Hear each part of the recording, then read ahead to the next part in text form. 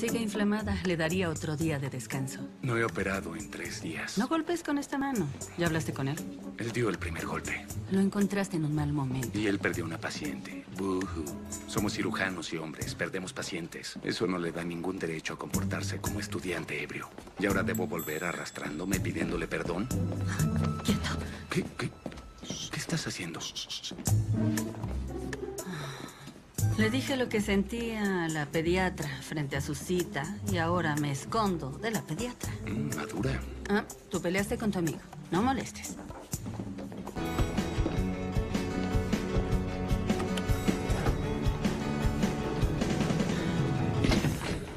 Así que tuve un día de esos.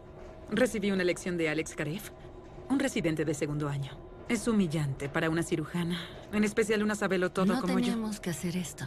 No debemos ser amigas. Es un hospital grande, muchos pisos y escondites. Estoy dispuesta a hacer eso durante varios años. No estás escuchándome, Caliope. A veces siento pánico en el momento y actúo mal. Y juzgo mal una situación. Así que, si estás dispuesta, quiero invitarte a cenar. Mm, tal vez. ¿Tal vez?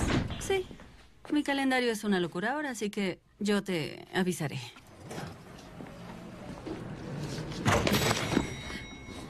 ¿Qué tal mañana?